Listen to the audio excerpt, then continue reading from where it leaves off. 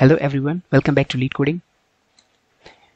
In today's video we are going to solve problem number of good pair leaf nodes. The problem statement is we are given a root of a binary tree and an integer distance. A pair of different leaf nodes of a binary tree is said to be good if the length of the shortest path between them is less than or equal to the distance. For example, in this case, the leaf nodes are 4 and 3 and the distance between them is 3. So they are considered to be a good pair hence the answer is 1 in this case. Again in this case the good pairs are 4 and 5 and 6 and 7 as the distance between them is 2 2 in each of these cases and we are given a threshold as 3 so these two qualify as good paired leaf nodes. Now let us see the same with the help of an example and here I am taking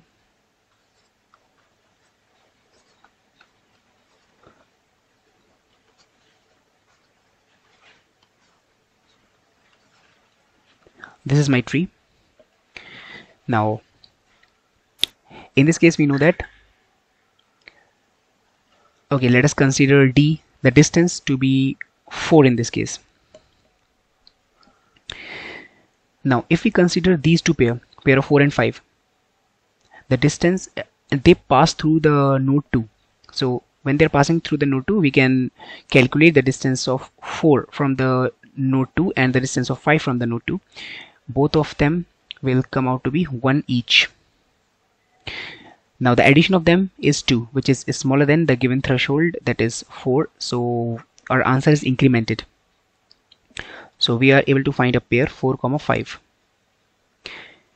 similarly when we are passing through the node 3 6 the distance of 6 is 1 from the uh, from the node 3 and the distance of 7 is again 1 from the node 3 the addition of both of these distances results in 2 which is smaller than d. So we are able to find another pair which is 6 comma 7 now when we are passing through the node 1 we could we could pair up 4 and 6 4 and 7 and 5 and 6 and 5 and 7 so there are four possibilities and we have to check each of them so we will be again calculating the distance of 5 distance of 4 from 1 the distance of 6 from 1 and then we will check that the the summation of these two distances should be smaller than 4 and then we will again check the distance of 5 from 1 and the distance of 6 from 1 and then we will calculate again. So this is going to take big of n square if we try to calculate the distance each time. So what instead we can do is when we are at leaf node we can simply pass 1 to the parent node.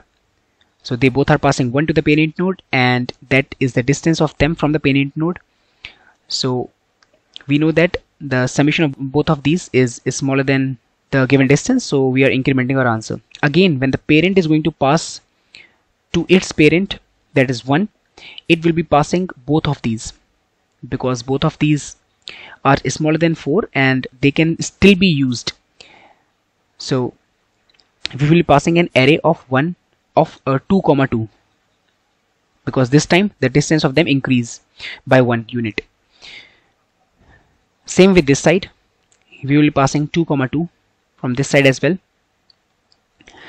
And now we are having two values uh, from the left hand side and two values from the right hand side. We will try to pair each of them so let us say this is A, this is B, this is C, this is D. So we will try to pair up AC, AD, BC and BD. We will see if each of them is, is smaller than the given distance D and accordingly we will increment the answer. Now when 1 is again going to pass to its parent, it will be having values from both of these sides and again this 2 will be passed as 3 this 2 will be passed as 3 so we are just incrementing 1 and then passing on to its parent. There is again an optimization into this. When we are passing these distances by incrementing them uh, incrementing them by 1 we can ignore those values which are already exceeding 4 so for example let us say this is a node and from this side we are getting an a list uh, 1 5 and 6 from this side we are getting a list 2 2 and 3 now when this node is passing to its parent it can ignore the values which are smaller than the distance. So let us say d is given as 7 let us say d is given as 6 so this node is already 6 even if we pass it as 7 it could it could not be used further. So we can ignore passing this. This way we will slightly optimize our approach. So 5 will be passed as 6 1 is going to be passed as 2 again 2s3 2s3 3s4 but we can ignore this 6 as it is going to cross the limit itself. So now let us try to code this. We are using a vector here to passing the list of the distances. This is the function. In this function we will be keeping a distance d and a root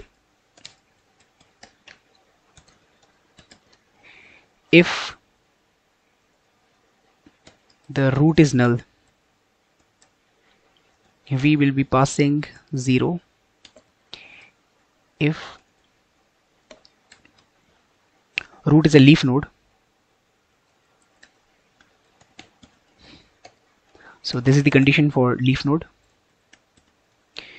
We will be passing 1 now this is the vector which we obtain from the left hand side. Calling recursion to the left hand side.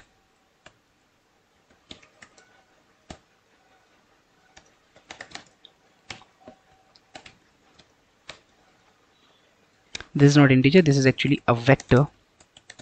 Vector of int.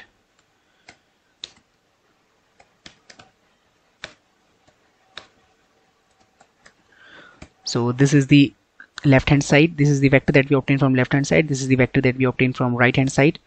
Now we will be going to each of the element and try to pair them up from the left to right.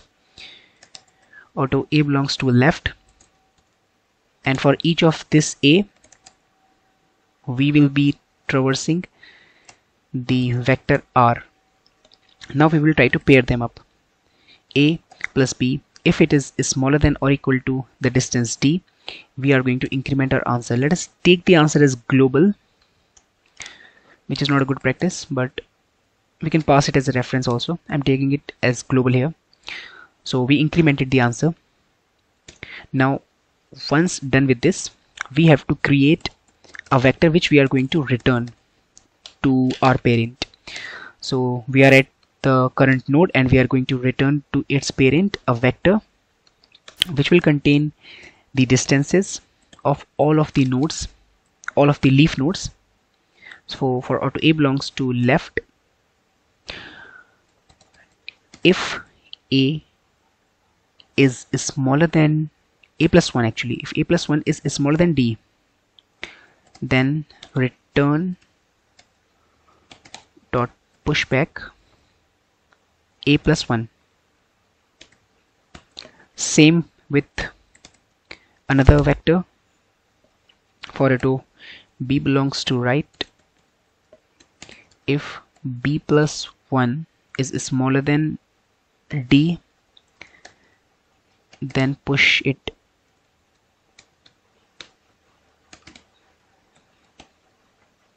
B plus 1 and then finally return this vector. Also when we are at a condition that the uh, one of the leaf is not a leaf node. So in that case we will be getting 0 so we have to handle that as well. If a is not 0 and b is not 0 here it should be a and and b. Why am I doing this? Because because uh, 4 will be getting two vectors one from left hand side which will contain a value 0 and another from right hand side which will contain the value 0 because these are the null values and null is going to return a vector which will contain 0 so in order to handle this one we are trying to eliminate this with the help of this condition.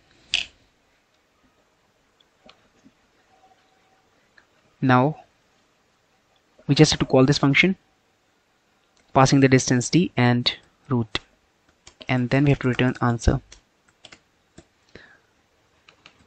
Let us try to run this. It is giving a compilation error. Uh, there is no in line number 17 if not root then we have to return this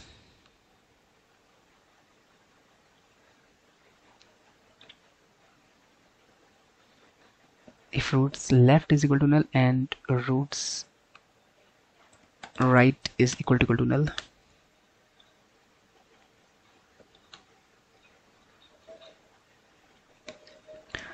One two one zero one. One two one zero one. It is giving us correct answer. Let us try to submit this. So we are able to solve this question in big O of n space and big O of n time which is enough to pass the constraints which are given to us. Again the space I think we can consider it to be constant because the distance is given as 10 so if the distance is given as 10 we are already eliminating them. So we are already eliminating those distances which are exceeding d. We are not we are not incrementing it each time. We are just eliminating those values which are so uh, once all the values are exceeds the distance d no matter how many nodes are there uh, which are inside that tree it is going to pass an empty vector.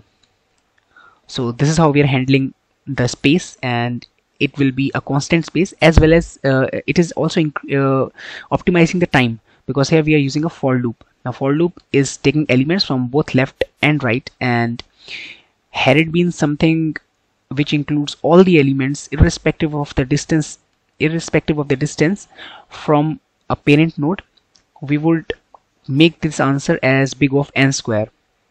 So in order to avoid that I'm just excluding those elements. Let us try to see what happens if we if we if we simply push instead of checking the condition.